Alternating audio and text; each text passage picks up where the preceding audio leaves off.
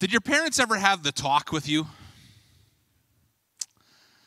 So some of you who are parents, maybe you are maybe you've already had the talk with your kids, maybe you're getting ready to have the talk with your kids. But if we were to go around the room and to ask, "Hey, when when you had the talk or when you gave the talk, what was that like?"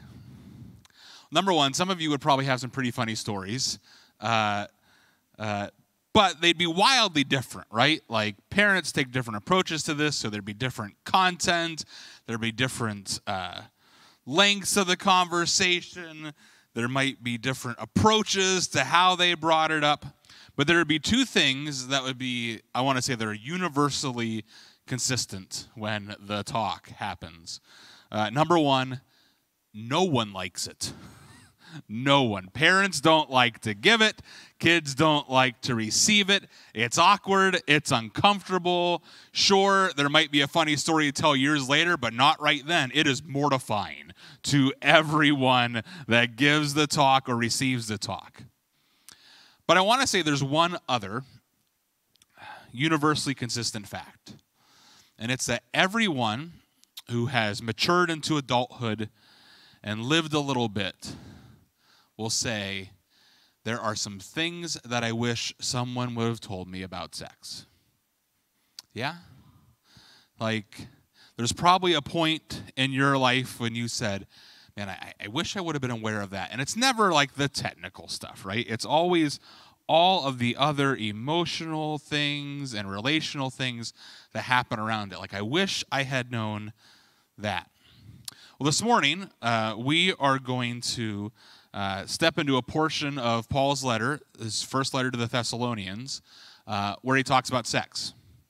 And I can't promise that there won't be any awkward moments um, this morning, but I will uh, do my best to make sure it wasn't maybe as awkward as the conversation you had with your parents. And uh, hopefully, by the time we're done, uh, maybe you hear some things that you are um, glad that you got to experience this morning. Children's ministry is available, by the way.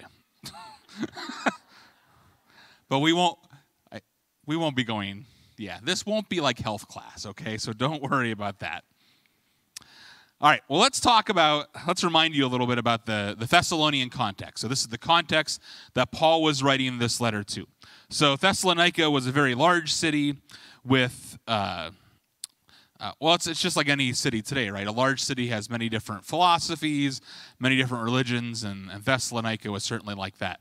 And we know from Acts 17 that when Paul went to Thessalonica, uh, so he always starts with the synagogues, he starts with the Jews, who, of course, have this foundation of the Old Testament, and they're waiting for the Messiah, and he comes to them first to tell them, hey, the Messiah has come.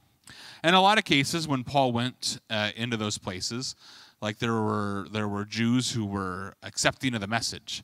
But in Thessalonica, we read that a small number of Jews were accepting of the message, but a large number of the Greeks were receptive of the message. And so a large portion of this church was made up of Greeks. And Paul got to spend just a few days with them, uh, teaching them and instructing them before he got ran out of town uh, by some of the other Jews that weren't really excited about what he was saying. So, in many ways, the church at Thessalonica was starting at ground zero, and that includes ground zero on the topic of sex.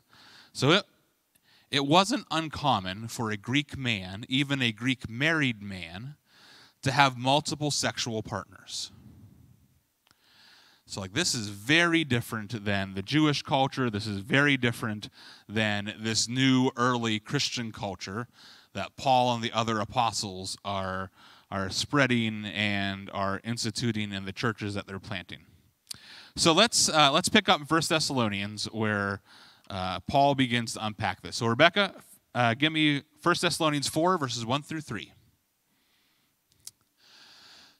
As for other matters, brothers and sisters, we instructed you how to live in order to please God. So this this is his first letter. So these instructions would have come that Paul's referring to would have come during that time when he was with them for 3 days. We instructed you how to live in order to please God, as in fact you are living. Now we ask you and urge you in the name of the Lord Jesus to do this more and more. So Paul's like, listen, we we we have asked you and instructed you how to live a life that pleases God. And now is like the next step. You need to live into this more and more to live a life pleasing to God. For you know what instructions we gave you by the authority of the Lord Jesus. It is God's will that you should be sanctified, that you should avoid sexual immorality. So let's back up to that, that sanctified word just real quick. It's God's will for you to be sanctified. So we get really caught up sometimes in trying to figure out what's God's will for my life is. And usually when we're talking about that, we're meaning things like where does God want me to live? Where does God want me to work? Uh, what activities does God want me to participate in? That whole kind of shebang. Um, and so we, we very easily kind of focus there. But this is one of just a couple places in Scripture that very clearly says that this is what God wants for you. God's will is that you would be holy. I think that's the first blank maybe on on your insert. God's will is that you would be holy. That's what sanctified means. This is how we live a life pleasing to God, that we would be holy, that we be sanctified.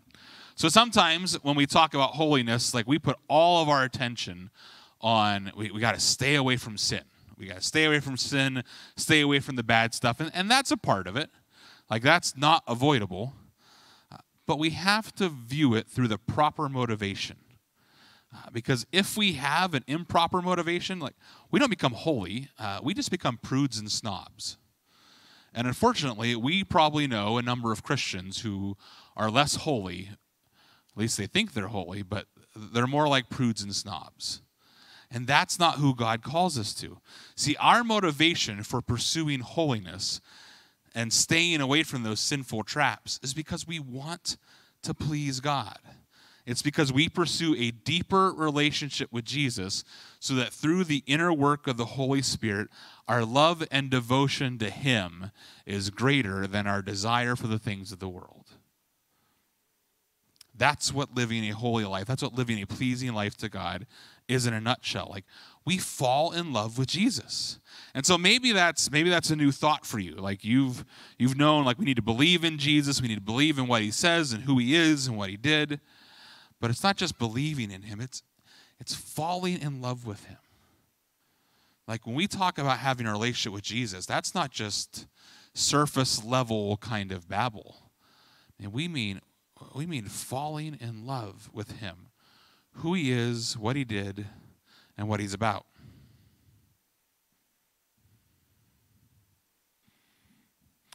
And when we have that motivation for living a holy life, that brings everything, the rest of it, into focus.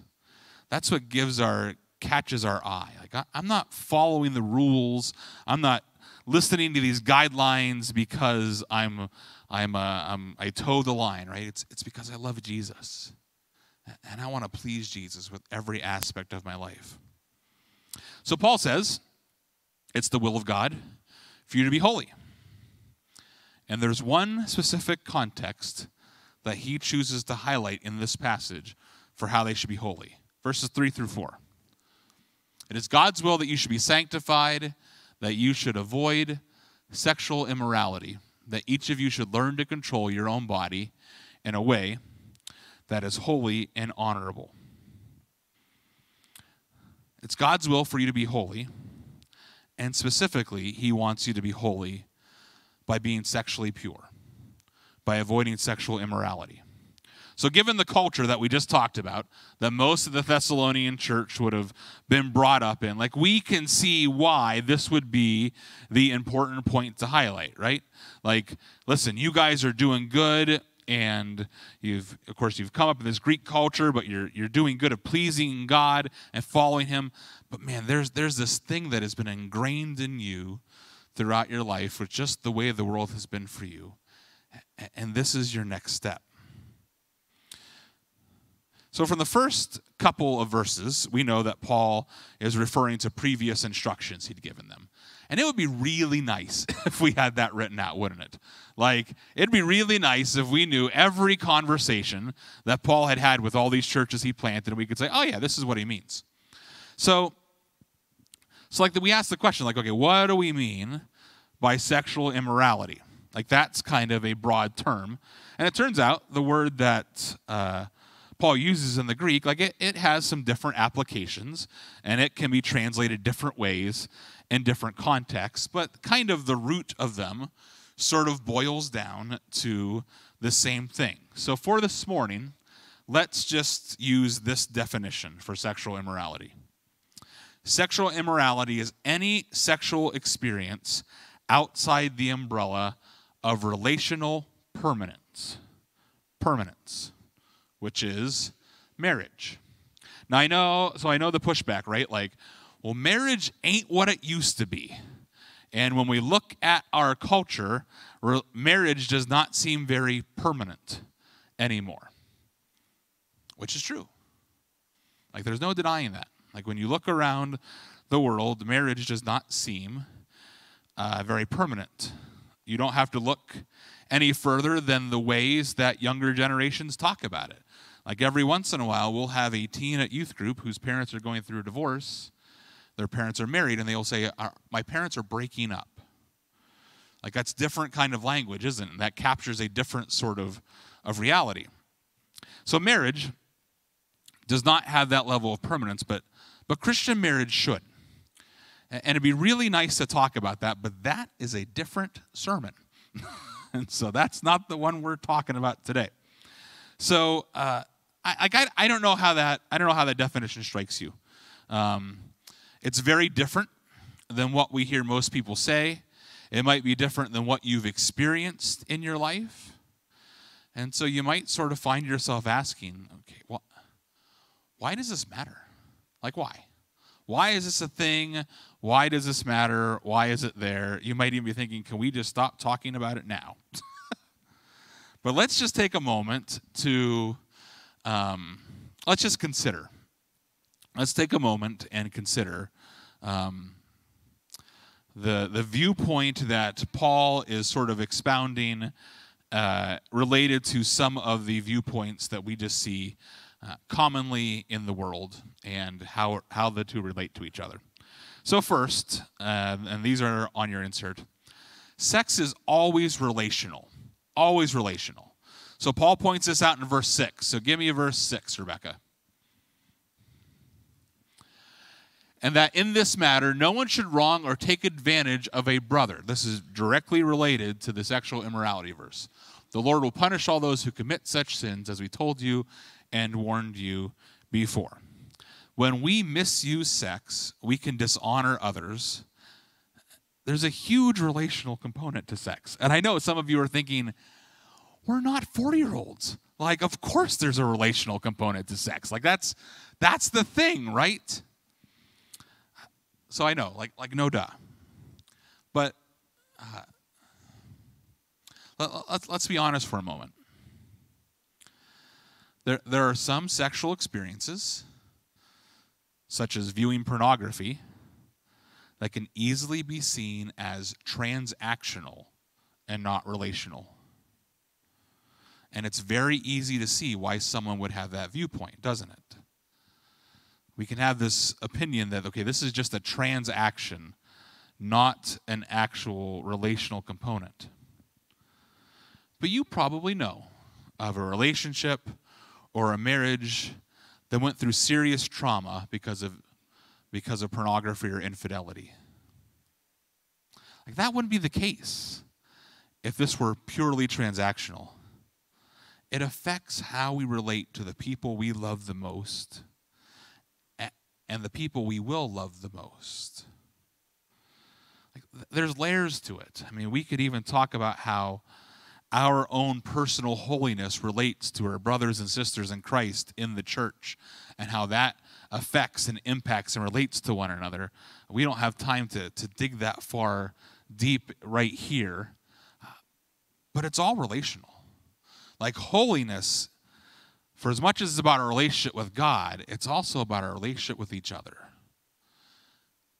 and for sex to, to impact that, uh, it means it, it impacts all of our relationships. And so this is closely tied uh, to the second viewpoint on your uh, message notes. Sex is more than just physical, it impacts us emotionally, mentally, and spiritually. So the spiritual impact is right there in the passage. Like Paul relates sexual immorality to our holiness, to our ability to be holy, to our life that is pleasing to God. How we use sex affects us spiritually at every level. So there's so there's a notion that like it's it's been around forever that that sex is just one way or a way to satisfy and appease a physical appetite we have. It's no different than having a cheeseburger when you're hungry.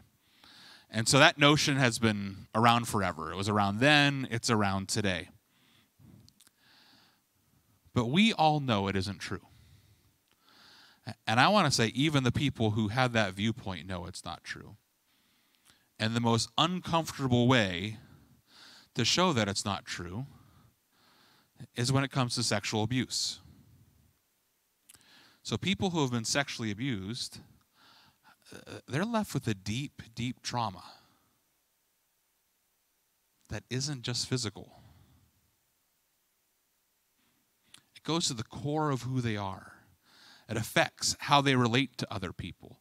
It affects how they love other people. It affects them emotionally. It, ex- it affects them mentally. It affects them spiritually. If this were just a physical transaction, like we just talked about, that wouldn't be the case. The act is so much more than physical. And in its most worst evil form, it is completely and utterly devastating to us at every level. But at its best, at its best and purest and most beautiful form, it has this incredibly beautiful effect on us. Because we have an appetite for intimacy. So, intimacy and sex, those are words that are often lumped together, and, and, and they shouldn't be equated with each other because they don't mean the same thing. But, but they are linked to one another. Genuine intimacy is about fully knowing and being fully known by someone else.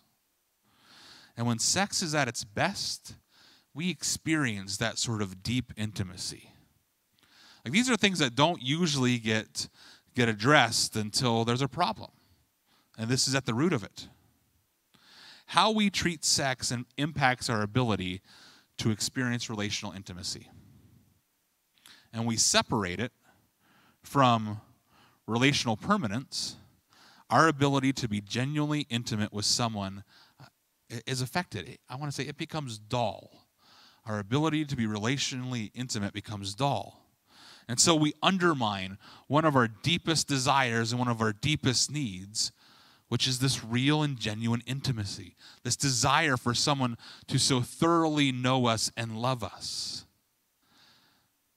When we misuse sex, we, we undermine all of that and we dull our ability to experience it. Friends, it, it's so much more than physical. It impacts us at these deeper levels, and when things blow up, we're left with emotional, mental, and spiritual baggage that we just can't lay aside, that we have to go through a process to deal with. So, first and finally, uh, Sex is not the pinnacle of human experience. Sex is not the pinnacle of human experience. So, this is one of the really broken ways our world thinks about it. So, there's this notion that you can't experience the greatest depths of love or we can't experience genuine intimacy unless we're having sex. That's just not true our deepest and truest experiences of love and intimacy come in our relationship with Christ. It's union with Him through growing holiness in our lives that enables us to have a deep and rich experience of love and intimacy. So, listen, this just needs to be said to some of you. Friends, if, if you're single or divorced, or widowed or in a marriage where sex is not a possibility, your experience of love and relational intimacy is not hampered by a lack of sex in your life. So in 1 Corinthians 7, Paul talks about singleness, which Paul would have understood singleness as a sexless life. But Paul refers to singleness as a gift. It's a gift because you can experience love and intimacy in meaningful ways that aren't always drawn back to and aren't always fixed on the physical aspects and the physical experience. If you're not if you aren't having sex, you are not less than. You are not incomplete. You are not less of a human. You are not incapable of experiencing the greatest depths of love and intimacy that we can. There are higher and greater things in this life than sex. And there are a lot of voices that would like to argue otherwise, but, but they're wrong. Because we believe there is something more. So, all of this, like all of this, would have been a, a much different view than what the Thessalonians were used to. Uh, but I, I hope you see what, what Paul's doing here.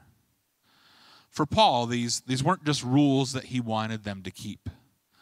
These guidelines were a benefit to them. A benefit to them.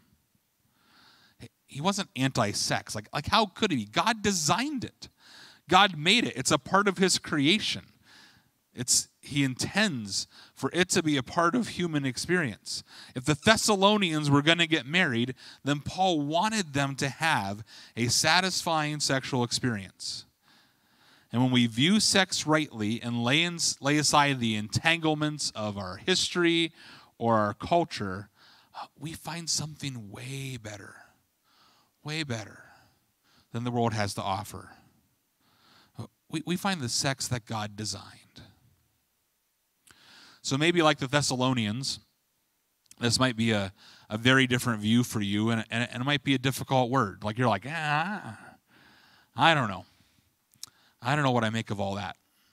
So a couple weeks ago, uh, when the three of us, the three pastors, were up here talking, one of the things I said when we were talking about preaching is that uh, preaching is a conversation like especially messages that you hear that are that are difficult to digest. That, that's an invitation to a conversation uh, with one of us with any of us.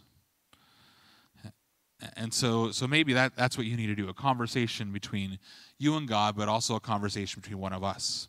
You know at the beginning of the of the section of scripture we looked at paul referenced twice instructions that he'd given them previously so this isn't the first time Paul had talked to them about some of this stuff. This isn't their first conversation about it. There's a process to untangling the ways we've always thought and untangling the experiences we've had in anything. To be holy, to live a life pleasing to God, and to choose a different way when it comes to following Jesus. And so maybe today's the day that, that you want to choose a different way. So, this is really the bottom line the path to pleasing God and experiencing real intimacy, living a loved life, and even satisfying sex is holiness. It's holiness.